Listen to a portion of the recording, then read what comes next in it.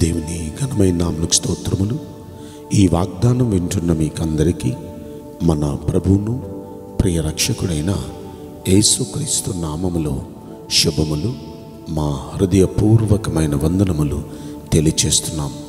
ఈరోజు దేవుని వాగ్దానం కీర్తన గ్రంథం ముప్పై నాలుగవ కీర్తన ఐదవ వచనం. మీరు ఆయన తట్టు చూడగా మీకు వెలుగు కలుగును.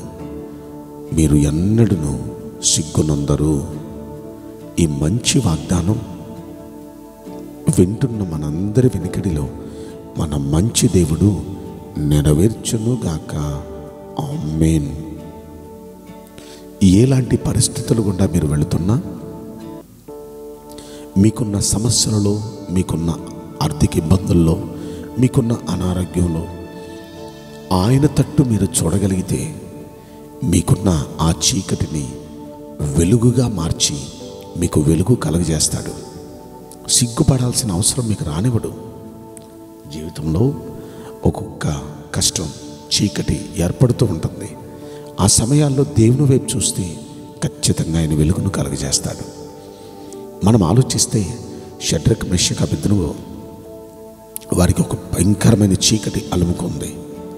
ఆ చీకటి ఏంటంటే ఒక శాసనం తయారు చేశారు. ఆ శాసన ప్రకారం వీళ్ళ ముగ్గురిని అగ్నిగుణంలో వేసేస్తారు. కారణం ఏంటంటే దేవుడైన యహోవాను తప్ప మరి దేవునికి వీళ్ళు మొక్కరు కాబట్టి. అలాంటి పరిస్థితుల్లో ఇప్పుడు అగ్నిగుండం మండుతుంది. అందులో వీరిని పడేయటానికి సిద్ధమైంది రంగం.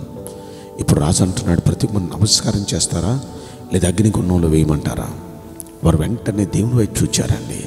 మేము సేవిస్తున్న దేవుడు మండుచున్న వేడిమి గల అగ్నిగుండం నుండి మమ్మల్ని తప్పించి రక్షించే సమర్థుడు.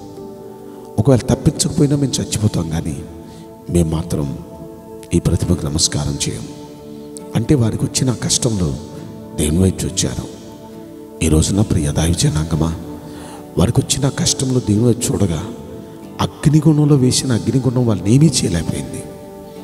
అగ్ని మంటలు వారిని కాల్చలేకపోయినాయి. ఆ సమయంలో వారు పాటలు పాడి నాట్యం ఆడుతుంటే రాజుకే ఆశ్చర్యం వేసింది. చూస్తుంటే అగ్నిగుణంలో నాలుగో వ్యక్తి వారి దేవుడు వారి మధ్య వచ్చాడు అని అతడు తెలుసుకున్నాడు. వెంటనే ముగ్గురిని పైకి పిలిపించాడు. వారికి చక్కని సన్మానం చేశాడు. వారికి దేశంలోని ఒక మంచి స్థాయిలో ఒక మంచి పదవినిచ్చి వారిని మంచి స్థాయిలో ఉంచాడు. ఈ మాటలు మీకు ఎందుకు చెప్తున్నానంటే సిగ్గుపడనివ్వడు దేవుడు ఆయన తట్టు చూచిన వారికి. వెలుగును కలుగు చేస్తాడు ఎంత చీకట్లో ఉన్నా సరే. ఇలా చెప్పాలంటే ఇజ్రాయేలీ యాత్రలో అడుగు అడుగున వారికి సమస్యమే సమస్య వచ్చిన ప్రతిసారి దేవుని వైపు చూచేవాళ్ళు. దేవుడు నిశ్చయంగా వారి పక్షా నుండి అద్భుతంగా వారికి వెలుగును కలగజేసేవాడు. అలాంటి సమయంలో ఒకసారి కాదు రెండు సార్లు కాదు ఇజ్రాయేలీలకు అది ఎన్నోసార్లు నలభై సంవత్సరాలు ఒక మాటలో చెప్పాలంటే ప్రతిదినము రకరకాల సమస్యలు గుండా వెళ్ళేవాళ్ళు. కానీ ప్రతిదినము వారు దేవుని వైపు చూచేవారు అద్భుతాలు చేసేవాడు దేవుడు వారి జీవితంలో. ఈనాడు దేవుని వైపు చూచిన మీ జీవితాల్లో కూడా ఆయన తప్పక వెలుగు కలిగి చేస్తాడు అయితే విశ్వాసంతో దేవుని వైపు చూడండి. దేవుని వైపు చూచే మీ జీవితాల్లో నూతన వెలుగులు నింపటానికి ప్రభు సిద్ధంగా ఉన్నాడు. మీ చీకటి వెలుగు అగునుగాక. మీ అంధకార మధ్యాహ్నపు తేజస్సు వల్లే మారునుగాక. ఖచ్చితంగా సిగ్గుపడి ప్రసక్తి లేకుండా దేవుడు వెలుగుతో నింపబోతున్నాడు. ఈ మంచి వాగ్దానం వింటున్న మనందరి వెనుకలో మన మంచి దేవుడు నెరవేర్చునుగాక. ఆమేన్. నేను మీకోసం ప్రార్థన చేయబోతున్నాను.